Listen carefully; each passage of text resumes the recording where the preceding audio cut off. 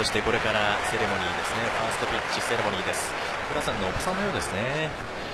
まあこれもメモリアルなシーンです。チンしてね。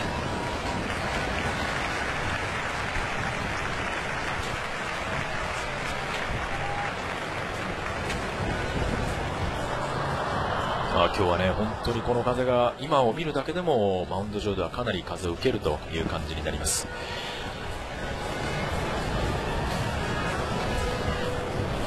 バッターボックスに福浦和也が入っています。打つのかな？ねどうなんでしょうね。親父すごいんだぞって。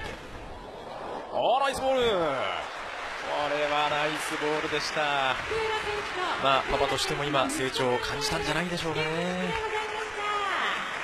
ということでスタジアムからも大きな拍手が送られています谷口さん、はい、どうぞ。今、ファンの話もありましたけれども、はい、今日福浦選手、9時に球場に入りました、はい、車で入る際ですね、入り待ちですね、はい、横断幕と、そして大きな背番号9の旗と、福浦コールで福浦選手を招き入れまして、それに福浦選手が手を挙げて肩へと入っていきまして、福浦選手ね、やっぱりそのコールにを受けて、ちょっと涙が早くも出そうになっちゃったよと試合で話していましたね。